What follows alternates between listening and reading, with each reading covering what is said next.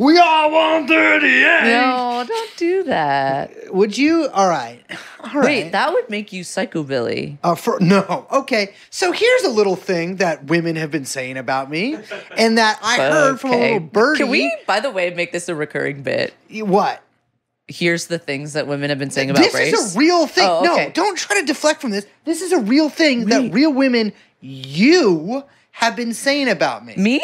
Yes, a little birdie told me that you, during the other day when I was at therapy and you were at my neighbor's house, What did I say to her? that you Or him or them.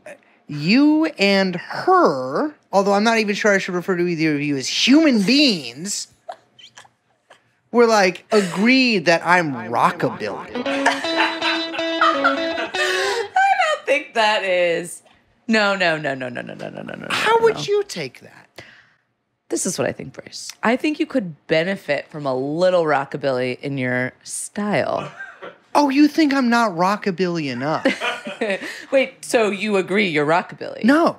So- I think there's a dearth of rockabilly that you would like to see filled. No. with okay, Can I tell you how we got there? Yeah, tell 'Cause me. we were tell me the tell me the winding road that you took to get No, there. No, because we were look, it was like an outfit thing. It was like, okay, I can see you with like maybe a looser pant that's a little cropped with, oh, what is that? That kind of like 50s style camp collar.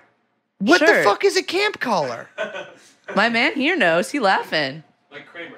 Like I don't know what shirt he wears. The big But I'm seventies saying, colors. I can see that. And you got the glasses and you got the hair. The like glasses. not it's not a rockabilly like Zoot Suit Riot, though I will defend that vibe.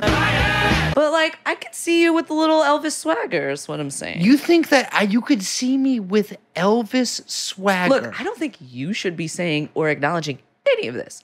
I'm just saying I could see the vibe and I would rock with it. It's true.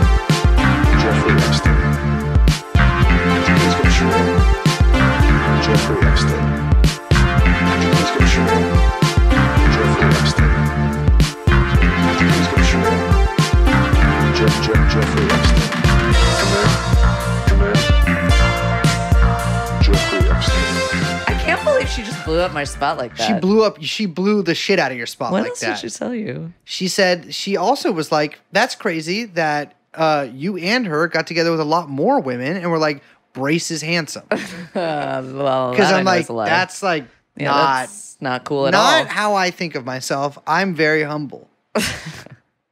well, I'm Liz. My name. my, What are you trying to do? my name is? C. Hain Wallet. Get it? What? No. C. Period. A wallet chain. Well, that's the opposite order of the words. Mm. I feel like you could see a like SSENSE. Like there's definitely like a Jacquemus SSENSE wallet chain on sale right now. a what? There we go. And of See, course, my we're joined. laughing because he know. We're joined by producer Yung Chomsky, and we're here at Stun- Sun Studios. now, what we we've got to get, you know, fucking I think you you rock with some twang. what the fuck did you just? I rock with some twang. you do. You fucking wear Western boots. You just bought new Western boots. I was to replace my old. They're not Western boots. They're regular boots with a bit of Western flair on them. They're cowboy boots. Yeah, yeah. You're you know what? dark It's crazy. It's crazy that I ha- I wear the cowboy boots, yet I'm the one being ridden here, Oh, ridden ragged. Ew. Now, oh, uh, you thought a nag was the kind of horse that we have on the farm? Turns out it's actually the thing that my co-host does to me. Oh man.